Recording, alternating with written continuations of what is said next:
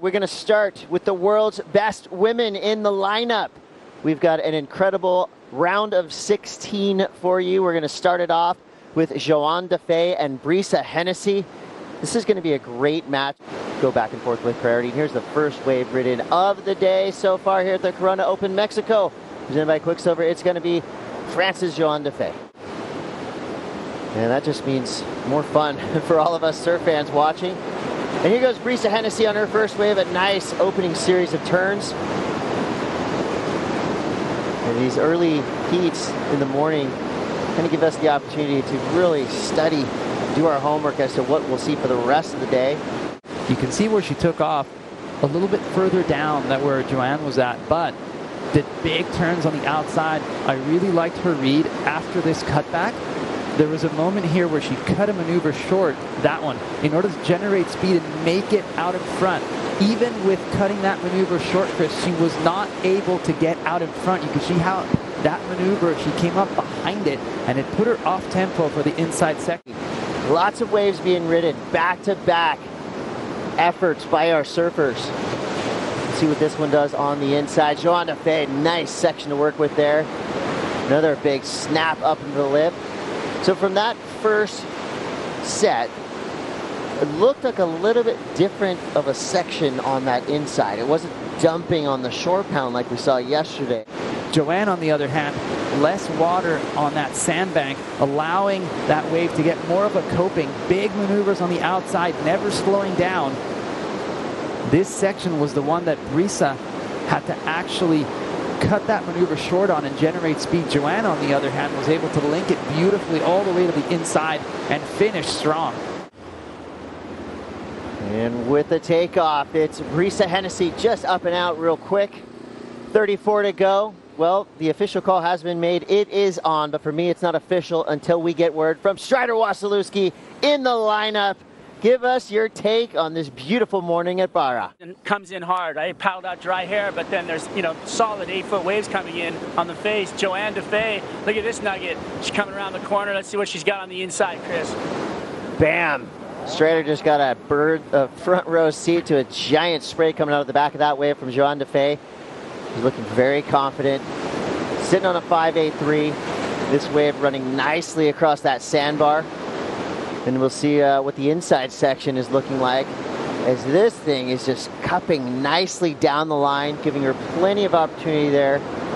Another beautifully ridden wave from Johanne Defay, currently sitting in that world number two spot, looking like she's gunning for a world title. Yeah, she wants a spot in WSL Final Five. She is looking so good. We're not seeing those kind of fast waves running away from surfers on the inside, actually allowing them to do something good on the inside. Johanne Great wave selection. She's looking to back up her 5.83. I like how she takes her time, not really forcing the issue. Eyeing the section. A little bit soft there on that maneuver, just making sure that she can ride it on through clean all the way to the inside. That's a tricky thing with this wave, Chris. You don't know when. What do these surfers, when they see a wave like this, well, there you go. Brisa Hennessy answering my question for me. Brisa right up into the lip. Power snap, driving down the line, setting things up. Can you imagine the view she has right now? This beautiful Barra wall speeding away right in front of her. She's perfectly in the pocket. Another big carve. Waiting for this wave to form out through to this inside section. Love what she's done so far. Decision time right now. What to do on the inside. Kicks out. Yeah, you could tell she was kind of building up for a big finish there, but the wave just kind of ran away from her at that very inside section. But what a takeoff. That was the most committed opening turn we've seen yet. Or do I take advantage of this big section coming at me? Big crack there for Brisa Hennessy. You can see how she's always looking down the line. You know, she's, she's pushing hard on her surfboard, getting close to the white water. And this part of the wave was a little bit more juicy, had a little bit more vida and a little bit more life. It looks almost like the, the bigger set waves. That's probably the biggest wave we've seen ridden yet. Not as critical of a section to work with down the line. Is that just because it broke further out, maybe past that sandbar a little bit? You know, it's, it's really hard as we see that big, beautiful bash on the outside from Brisa, the local from Mata. Now Brisa, who's sitting in second priority, needs a 516. And it looks like she could be activating on this wave. Good looking wave for Brisa. One of these kind of medium insiders and up and out. Wow, I thought that wave, just judging by the size and the way it was glassy when she was taking off, I thought it was going to do the Barra thing, the nice little hook horseshoe kind of going against the surfer. But Johanne Defay, who had priority, smart. Only needs a 5-1-6.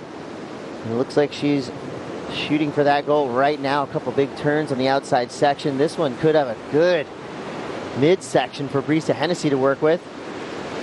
Brisa surfing for Costa Rica, uh, living there part-time, also living on the island of Namotu in Fiji, as well as Hawaii. Basically speaking, she's living the dream, and she's now surfing really good Barra de la Cruz with three other surfers in the water, and that is something that would never happen unless you're in a professional surfing contest. But he caught the third wave of the heat, which was way, way better. And speaking of priority, Brisa Hennessy did not have it. Took off on this wave, only so much better than the previous one. It lined up beautifully through that inside section. Big jam, laying back on that midsection of the wave. Connects with the lip. This is maneuver probably number six or seven. So as far as picking good wave and was able to put a lot of pressure on that tail pad so she wouldn't nosedive. So that was a wow moment for that wave as we see Johanne up and riding. Now back to heat one. Johanne Defay is surfing for a 6.75. It looked like she was in control of this heat until Brisa just dropped the hammer. But 6.07 adding to her 6.9 puts her in the lead with a 12.97 total. Now Brisa's out the back with priority. You've got to finish strong. As we see now, Johanne Defay trying to catch up. She's looking for a 6.75. Smaller looking wave, but it could have a good line through this inside section. Yesterday and the day before, we saw some meat coming from the scores through this inside portion of the airdrop. Brisa Hennessy now finds a clean open face to work with, carving back into the whitewater. So in the offense. So impressed so far with what Brisa Hennessy has done. She was not shook one bit by those two big opening scores from Johanne Defay. It's a nice closeout bank to finish that wave. So not a super long wave, but some impactful surfing. She's looking to improve on a 6.07. Compare that wave to the wave that gave her that 6.07. Right there. Not above and beyond, but kind of right in the mix. Here's a cool angle of that late drop, so no problem for Brisa Hennessy. Nice clean crack on the outside. Looking down the line, the wedges. You can see how the wave kind of backed off midway through her turn. So she was smart to kind of apply the pressure towards the beginning of that maneuver and then release. And the first time that we've seen in the entire event, secondary heat, and she has a better two-wave score than Johanne Defay, who is in the primary heat. Let's see what Johanne can do on this one. Answering back, Johanne Defay setting things up with that first turn. This wave starting to bowl out a little bit through the mid portion. Until she's kind of waiting, trying to see what this wave's going to do for her. Now it's starting to grow and run down the line. Some intensity. And just, she seems like she's waiting for it. Now goes up in the lift. That Big power snap to finish. Yes, a well-warranted fist pump right there from Johanne Defay, showing some emotion. She needs a 6.75. Loved the finishing maneuver. Did she do enough on the open face of that? It was a little sloppy. The wave itself, not her surfing. It was just a little bit too murky and weird. You can see how as she takes off, the wave completely runs away from itself into the whitewater. So thus far, looking very similar to her previous ride. Nothing exciting. But as she stalls, she sees that something is bowling up, and this wave got better starting through that midsection. Big, clean, open face crack, a nice carve. Still, she's not satisfied yet. This is what she wanted. That big, massive maneuver on the inside. That is why she is stoked.